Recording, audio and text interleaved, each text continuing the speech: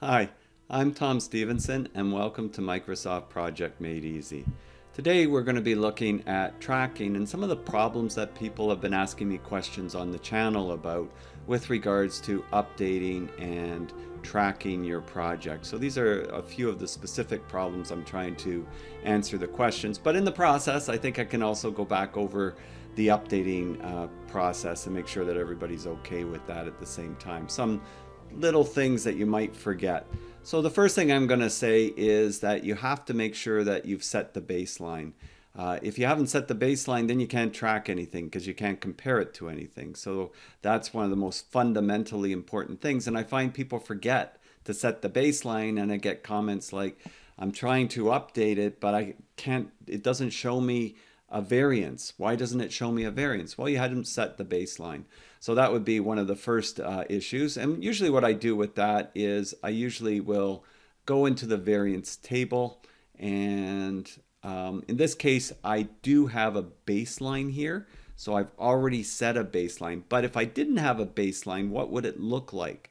I would go to the project tab, right? and I would go to where it says set baseline. I could go clear baseline. So if I accidentally set it too soon, I could clear it. I could say clear it for that date, clear entire project. And now this is sort of the default position until you set a baseline, right? So if I want to now set a baseline, it's cleared. I've got no variances on anything. I'm going to go set baseline, follow the default entire project. And this is under the project tab. Click OK. And of course, it's just copying the start dates, pasting them there, copying the finish dates and pasting them there.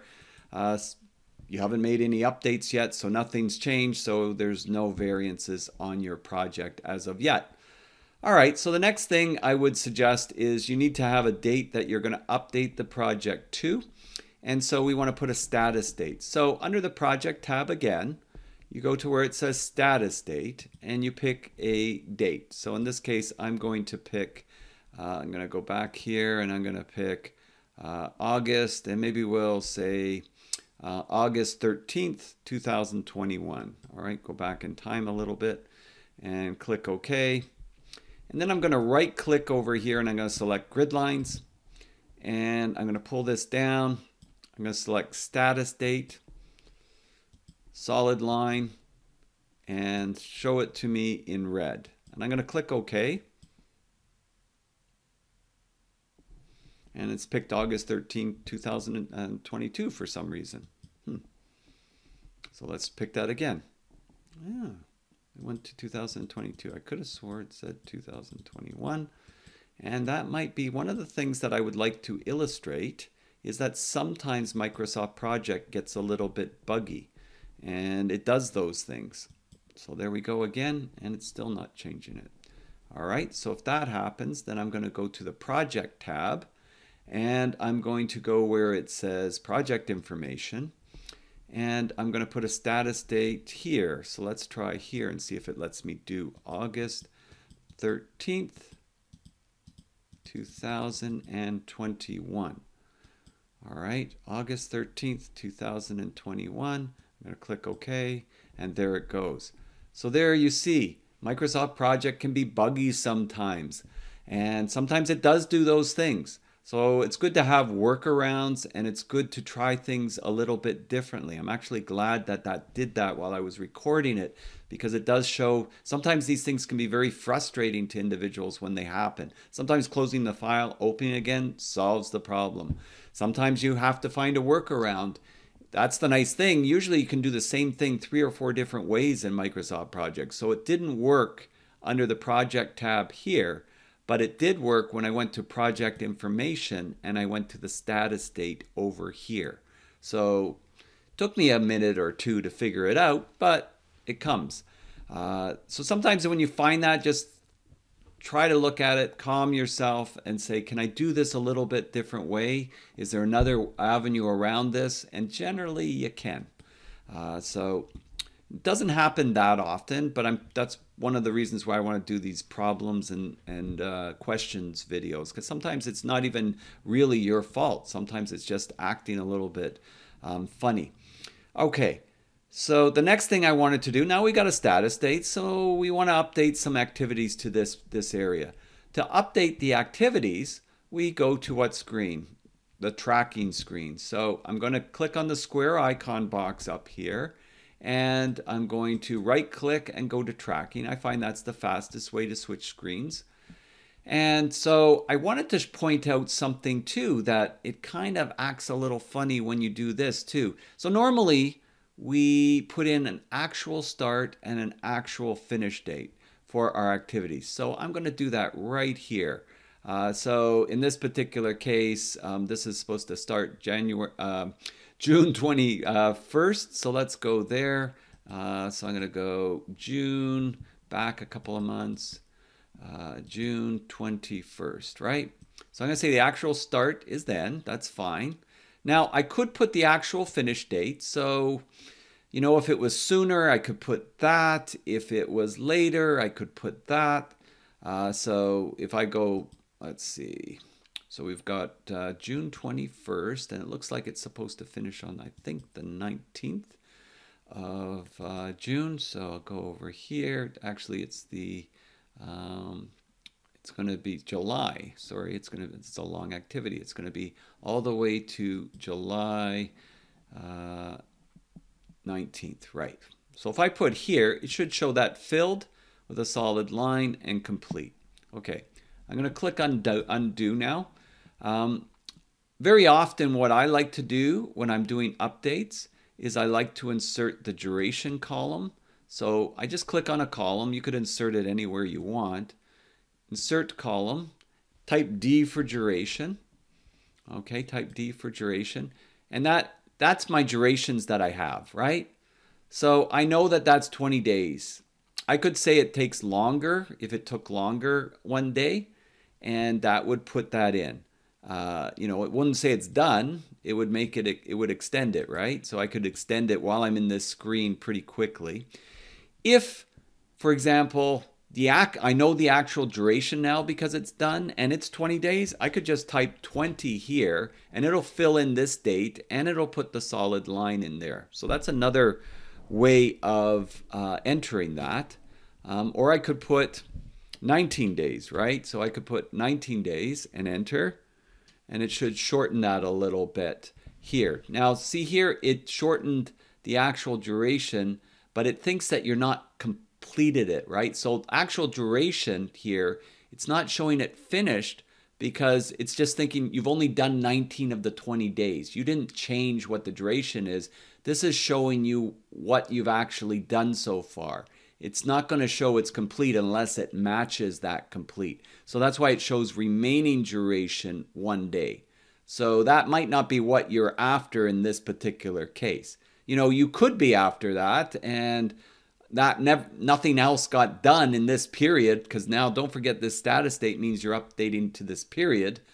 So if that happened, then maybe you got to split this task and move it all the way out here, and that's going to move these other activities as well. But maybe you don't want to do that. So I'm just going to click undo here. All right, and I'm going to click it back so that it's just not done. But I've got that actual start date in there. The other thing, of course, I could do when I'm updating, I could just say it's 100% done. That's pretty quick to do, right? So I could just go boom, 100% done. And I wouldn't even have had to have an actual start date to do that. I could have just said 100% done. So different ways around working with that. But I want you to remember actual duration is how many days of this length you've done. Sure, it will show it's 100% done when the actual duration and the duration show the same time period. So that's a, another area I've been getting some questions questions on. The other one is this is a little bit perplexing. Uh, I find uh, with a project when you put in an actual start here, like say we finished this a few days early. This was one of the questions I had from uh, one of the viewers as well. So if you finish this a few days early, it was I think on this point or some point close to it on uh, my updating uh, my updating an MS project uh, file. So if I move that, so what do we got? That's July 25th. So let's say um, we go back to July and 25th. 5th. So we're going to say, uh, maybe we're going to say the 29th. That should show it. All right. So if I go 29th, watch what happens. It's going to ask me cancel, avoid. uh, scheduling conflict, uh, continue, allow, scheduling conflict. Like it's not letting me um, do that, right? So I could go continue and allow scheduling conflict. So let's see. Um, it pulled it back. Actually, it did it pretty well that time. Sometimes it doesn't always do it that well. Let's try it on maybe this one here, and we'll put uh, actual start back here, and we'll try it on this one as well. So we've got July 28th. Let's try the 28th. See how it did that there? See how it did it differently? It just pulled it back. And it's like, well, why on the other one did it not? And why on this one did it? And then you can rack your brain for hours on that and make yourself a little bit uh, dizzy with it. What I would suggest, click undo. Again, it's always nice if you have little workarounds. If it starts to get a little bit quirky on you sometimes, uh, that's helpful. So I could uh, double click on the activity and I could go to predecessors and I could say put a negative lag of, I think it would have been um, two days or three days. I think I used three days, so I'll do three days. Two days would do the same if I'm off with it. See how it pulled it back? And now I could say 100% done, problem solved, right? Uh, so that's another way of working around. Of course, I could change the duration on it and I could make it longer and then it will I could say 100% done. I could do a bunch of different things if I wanted to with that.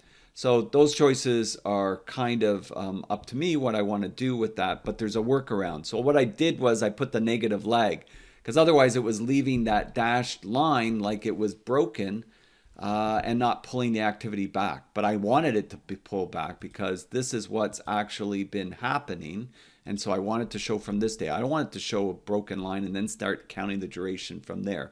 So if you get that happening, that would be my suggestion is to just put a negative lag on it and then update it that it's 100% complete if that's the case. Or in this case, I don't want to say it's 100% complete because you see how that's another problem. It went past the track past the status date. Well, I only want it up to the status date. Well, you could calculate the actual duration, right? You could say, all right, that's not 100% complete. You could uh, say actual duration is what's that? 5, 10, 12 days, looks like. So I could put in there 12 days if I wanted to, and that will update it to the status date. That's one way to do it. Uh, the other way, I'll just click on undo if I was satisfied with these activities now that I've moved it around and all of these activities are complete now up to the status date, there's nothing fancy going on. Well, maybe I'll show you one more little trick before I do that. But what I can do if they are where I want them to be, I could quite simply, just to show you quickly now, is I could select everything. That's what my favorite. I'll select everything and then I'll go mark on track and I'll just click mark on track and it will update everything to the left of the status date. So let's try that. Mark on track and it updates everything to the left of the status date. It won't update anything to the right. That's the other reason it's a great tool to put in the status date. It, you can use that tool mark on track once you've got everything set the way that you want it to be. The other thing that I could do, I'll click undo that I was going to say is let's say that this activity, um, drywall first side, didn't start. It didn't start. So I should move it. So I can move that activity and I can just say incomplete parts to the status date. Again, because I uh, did that, I can move that those incomplete parts to the status date, right? So what that will do is it'll move that and it'll move it past there, right past it. The other thing I could have done was move it as many days as I wanted just by going custom if I want it to be a few days longer than that. But I want it there, so that's okay. Then I could hit um, the uh, select all and mark on track. Another problem that I get into, I, I see that people have sometimes, maybe I can do go a little bit past the status date with this just to show you some of this kind of problem that happens. Um, you get this, activity, you mark it 100% complete, right? Well, that's going to put a constraint. That's why the critical path disappeared. And a constraint you can see the constraints in the indicator column. If you go to entry, in the indicator column, you can see um, these little boxes, right? Um, so that's showing you a constraint. I've marked this one as complete. If I just actually, sorry, it wouldn't have marked it as um, uh, a constraint. It marked it as complete here. A constraint shows as a box. Constraints are problems onto their own, and I'll say that for another video. This checkoff says that that's done. All right, so now I will update this, say to five days. Watch what happens. It pushes this out and this stays still. And then people get frustrated. Why isn't aren't things moving? Well, you mark this as complete. Once you mark it as complete, it's not going to move anymore because you said it starts on this date and finishes on that date. Other things will move around it, but it won't move. So if you want it to move, you need to zero it out and then it will move, right? And so that's something to be cognizant of too if you're having that issue when you update um, your file. Some people are probably wondering, what's that line? That's today's date. So that's why I was going back a little bit in time. This is the status date. Okay, so that was the, the main little uh, questions that I wanted to update. There's a lot of other things that'll come up in the updating process, and I'm sure I'll do um, more uh, videos on this. But if you look on my YouTube channel, I've got step by step from square one how you start Microsoft Project, how you add resources, and how you update and recover, how you save uh, the file naming protocols for the updating process, and you can check those out on my playlist. So I hope this helped you for some of the problems and little issues, and I hope the person that asked me the question is watching this video too, uh, so it helps them. So I'm Tom Stephenson, wishing you a wonderful day. And by the way, if you've got your own questions on Microsoft Project, it gives me ideas for videos on the YouTube channel. Because if you're having problems, I guarantee you other people are having the same problems, including myself sometimes. As I said, sometimes it's a little bit tricky and you have to come up with workarounds. So let's help each other as we build this community.